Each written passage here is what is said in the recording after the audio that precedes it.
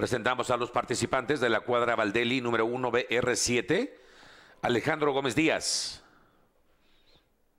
De la cuadra Chiconcuac, número 2 de Pepino Cartel, Teodoro Vergara.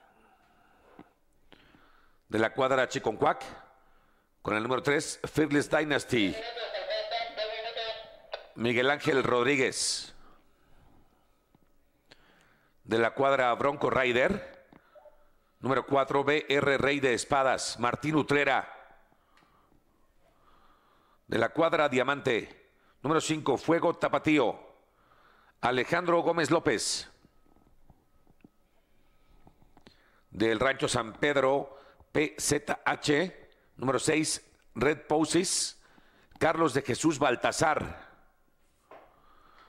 de la cuadra Vázquez, número 7, Per Corona Caliente.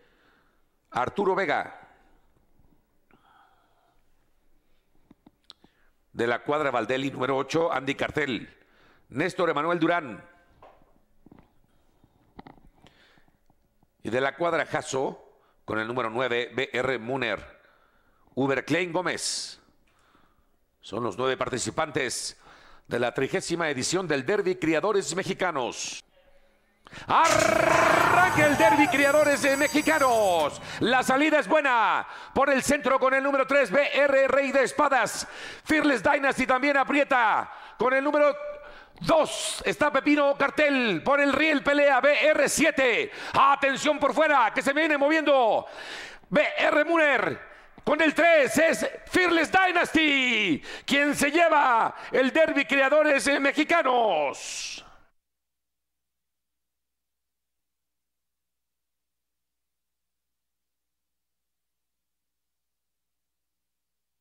Ingresando al círculo de ganadores, el binomio triunfador de esta trigésima edición del Derby Creadores Mexicanos, Fearless Dynasty, potranca retinta de tres años, criada en México por Rachuán Suárez.